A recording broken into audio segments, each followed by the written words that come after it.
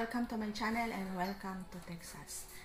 Ngayon punta kami sa San Jacinto Battleground Ship.